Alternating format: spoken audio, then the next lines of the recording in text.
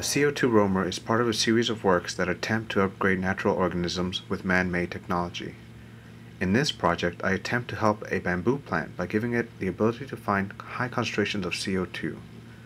More poetic than practical, I hope that the project will help highlight the intersection of technology with the plant world and create a dialogue about our responsibility in protecting our natural resources. In addition, I am trying to emphasize both the incredible speed at which technology can destroy nature and the potential crucial role technology may play in preventing the final obliteration of our natural world.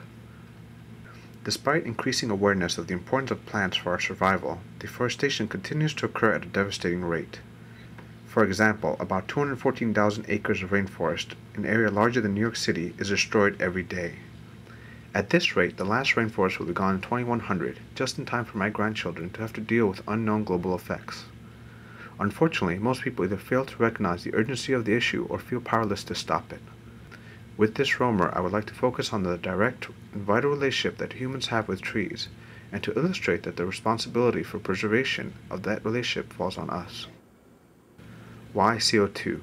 Breathing is a universal symbol of life across cultures and species. Humans breathe in oxygen and expel carbon dioxide.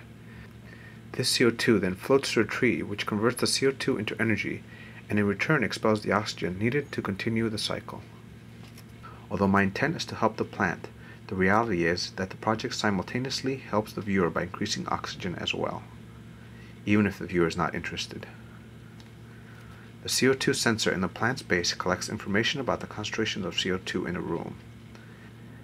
As long as energy is available to the batteries, the roamer can then move itself to the region where the highest concentration of CO2 is available, thus maximizing its collection of the gas. It keeps its power up by using its mechanical leaves to collect solar energy. As soon as it has more than 50% power on board, it goes hunting for CO2 again.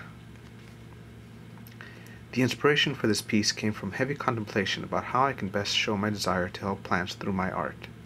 I am frustrated by the slow progress being made to reverse the damage that our technology has created. Not due to the technology itself, but rather the misuse of it. My art is a way of processing this frustration, while at the same time trying to create a positive impact on our environment. For example, by creating works that crosses the line to design, my sculptures sometimes actually collect energy, or in this case help a plant grow and survive.